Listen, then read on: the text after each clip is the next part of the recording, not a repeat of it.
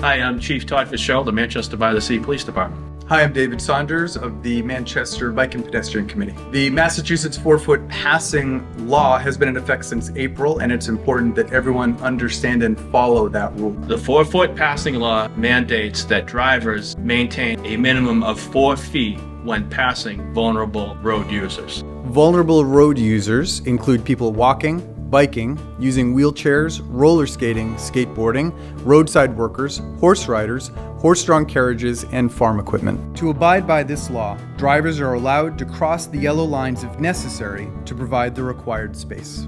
If there's not enough space to maintain the four foot distance, it's important to wait until it's safe to pass. Remember, maintaining a safe distance while passing vulnerable road users is not only the law, but also helps keep everyone safe on the road. Let's work together to make our streets work safer for everyone. Thank you for your cooperation and understanding. For more information on the four foot passing law and other safety tips, visit the town website.